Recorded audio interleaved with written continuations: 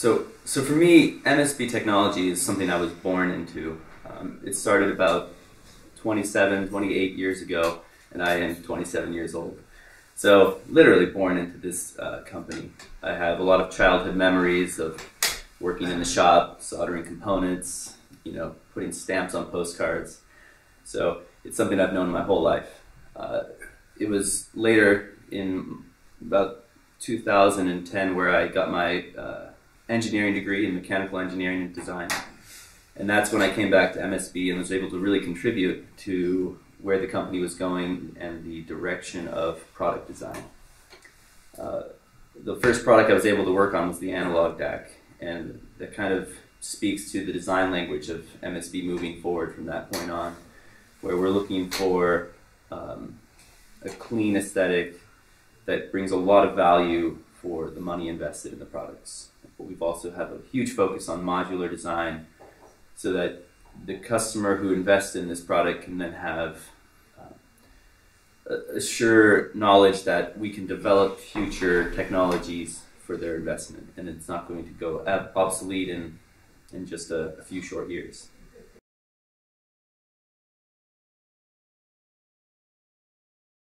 So, so at MSB, we really are a, a group of engineers focused on design, not marketing, not creating a super company, but really creating products that we love, products that inspire us, products that really debut a technology that's unique in the field. Uh, we do our, all of our own in-house manufacturing with our own SMT machines. I do the CNC programming for our own chassis design.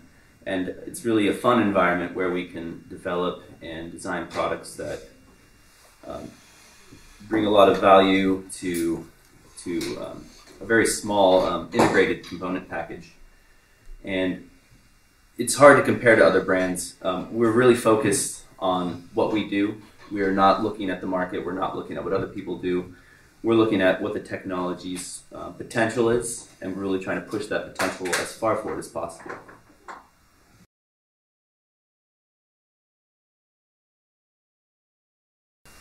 So digital to analog conversion in, in our side of the business, we do a lot of discrete design, like our ladder DAC um, technology.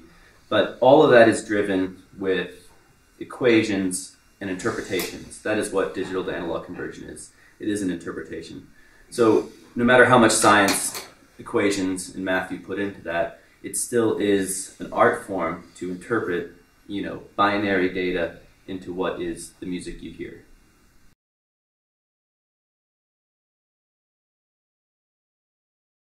So recently, MSB has been purchased by my brother and I, Jonathan, and um, we too are very excited for MSB's future. I think the company, in my opinion, is just starting for, for where it's going to go. Um, we've been adding a lot of equipment to our factory, a lot of capabilities, and as I've only been here for about seven years working, um, my experience and knowledge is, is growing exponentially, as is Jonathan's. So I think future products we can expect a lot of um, exciting steps forward, new technologies. Um, again, incorporated with the modularity, we have the ability to keep moving current products and new products very far forward in the, in the industry.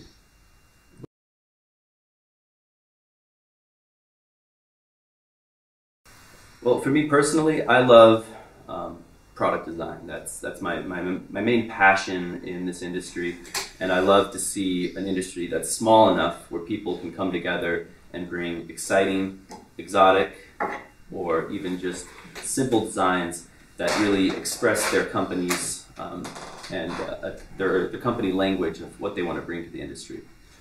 Um, some of the things I'm not a huge fan of would be marketing, campaigning against each other.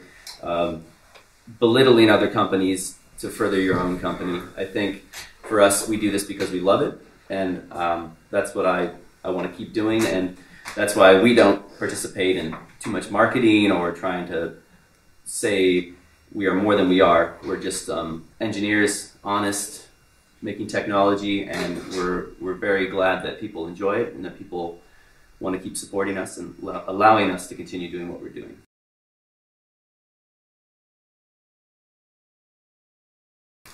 So, so for me, I was never involved with vinyl. Even still, I, I don't own any, never used it. I have very little experience with it. Um, I've listened from time to time to some, some very good turntables. Um, but for me, I'm always looking forward. MSB, we're always looking forward. We're, we're excited about new technologies. And I think digital is really the, the end game, and it's a, a place of, of improvement and a place we're going to continue to see improvement in, in media, content, and availability. So that's, that's my main focus and passion.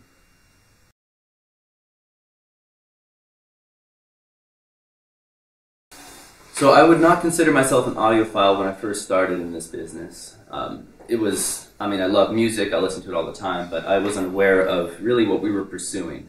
It's until I started working in the industry, going to shows, doing speaker setups, and really getting a feel for, for how the industry works, for how we can improve this the, the playback of music and the realism and the, the natural sound that I started getting an appreciation for it. So at this time, I would consider myself an audiophile. I've definitely spent a lot of time listening, and I can now finally pick up on, on things in a system that I was not able to in the past. Um, my personal system is basically some Frankenstein MSB gear that I've pulled together, homemade speakers. It's not something that you would present, but it sounds very good.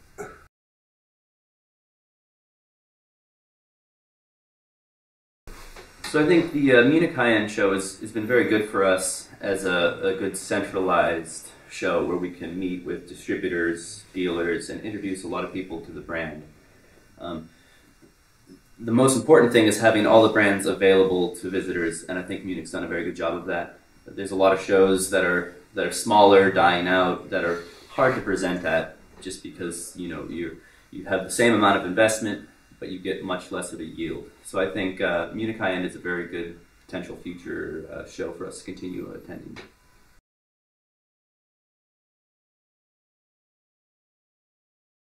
So this is an area that I'm very excited about because I think this is where there's the most potential in digital music. Um, I don't foresee PCs, servers being the future.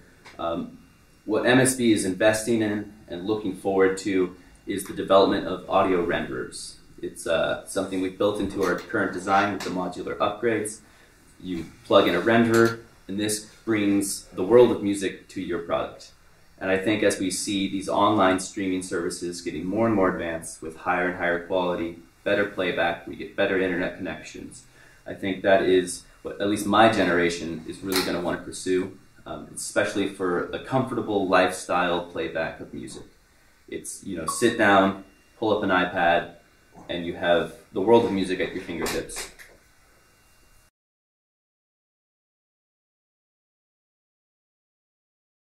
Every time we push the technology of our digital converters forward, we find there's always more to achieve.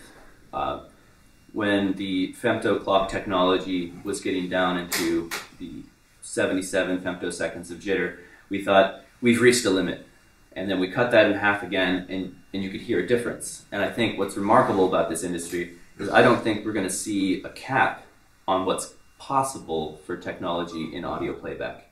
It's something that your ear can hear and discern more than your, you know, like the visual perception of, of quality. You know, you can only see so many pixels.